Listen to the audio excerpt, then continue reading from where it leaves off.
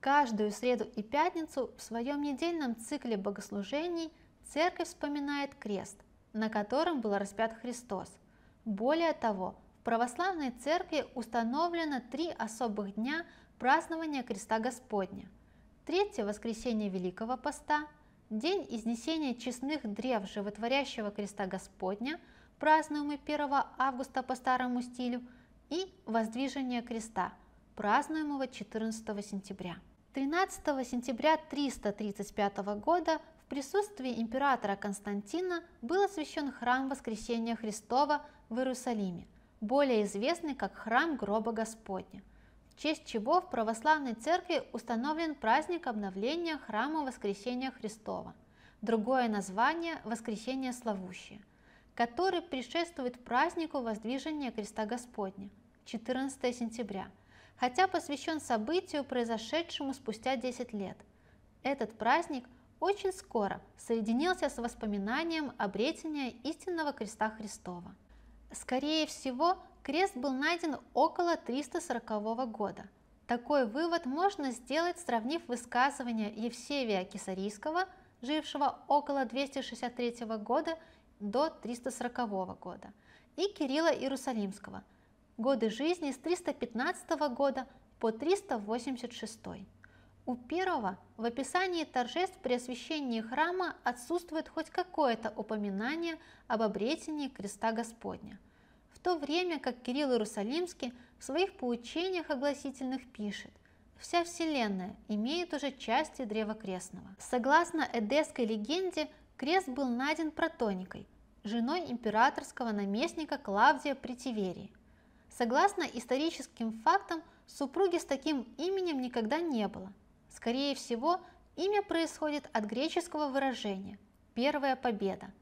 Однако уже к концу IV века становится более общепринятым другое описание, более вероятное, что крест был найден императрицей Еленой, матерью Константина. В своей беседе на Евангелие от Иоанна святитель Иоанн Златоуст говорит, что святая Елена нашла три креста – под Голговским холмом.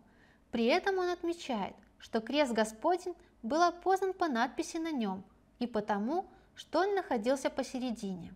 Только в начале V века другие авторы, такие как Руфин Аквилейский и Павлин Наланский, начинают говорить о чудесах, благодаря которым был опознан крест Господень святой Еленой и святым Макарием, епископом Иерусалимским путешествии Этерии приблизительно 400 год написано, что праздник освящения совершался с особой торжественностью, потому что в этот день был найден крест Господень. Таким образом, праздник воздвижения креста очень быстро затмил собой праздник освящения храма Воскресения Христова. В VI веке Александр Монах в своем произведении об обретении креста Господня описывает происходящее ежегодное освящение храма и воздвижение честного креста. Рукопись конца X века «Минология императора Василия» сообщает о том, что в 335 году, стоя на возвышении, епископ при всенародном восклицании «Господи помилуй» воздвигал крест. Это был первый раз, когда крест Господень стал допущен народному лицезрению. Скорее всего, Именно так выглядела картина торжества со времени обретения креста Господня в Иерусалиме. А 14 сентября 614 года это впервые торжество было совершено в Константинополе. В Константинополь крест Господень попал в 628 году, после того, как был отвоеван у персов императором Ираклием I.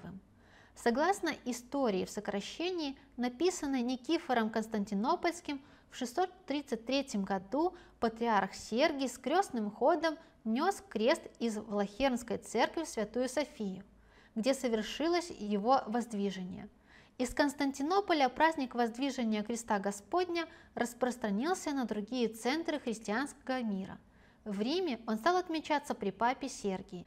Воздвижение честного и жетворящего креста заключается в освящении всего космоса божественной силы, явленной крестом – если Христос новый Адам, то крест его новое древо жизни, возвращающее падшему миру райское нетление. В этом празднике церковь величает крест Господень, которым разрушено тление и расцвело нетление, и мы, смертные, были обожжены, и дьявол окончательно низвержен. Вечерня, стихира на стиховне 3, глаз 5. В этом празднике весь мир признает, что немудрое Божие премудрее человеков, и немощное Божие сильнее человеков. Послание Коринфянам апостола Павла, стих 25. Кроме этого, в празднике крестовоздвижения церковь величает победу креста над всеми враждебными христианству силами мира сего. Для христиан возможна победа только крестом Господним, который есть вселенная безопасность, утренняя стихира глаз шесты. Им варварские народы побеждаются, им скипетры царей укрепляются. Стихира третья на хвалите глаз восьмой. Поэтому для империи, которая считает себя христианской, необходимо склониться перед крестом. Присутствие в богослужебных текстах константиновских элементов придает празднику некоторую политическую окраску. Если в иконографии одновременно изображают воздвижение креста вместе с его обретением, то в верхней части иконы изображается епископ, поднимающий крест, а в нижней части святая Елена с тремя крестами у подножия Голгоф. Самая простая композиция иконы крестовоздвижения состоит из святого Макария – епископа Иерусалимского, который, стоя на амвоне, поддерживает крест, показывая тем самым подлинный крест народу. И подьяконы стоят и поддерживают его по сторонам. На иконе также изображены святые Константин и Елена. Если император и его мать изображены справа, то слева показано какое-либо чудо, происшедшее силой крестной. Это может быть или исцеление больного, или воскрешение мертвого. Как отдельный отклик праздника освящения храма Воскресения Господня, фон иконы передает архитектуру этого храма.